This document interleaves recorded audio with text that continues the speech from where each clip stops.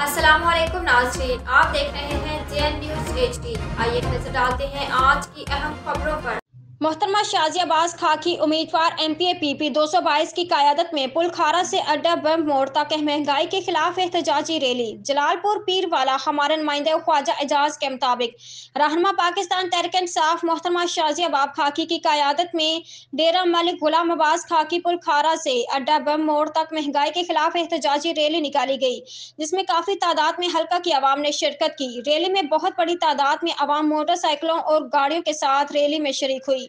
मोहतरमा शाजी अब्बास खाकी के साहिबा के साथ कसीर तादाद में मोजिन हल्का मौजूद थे।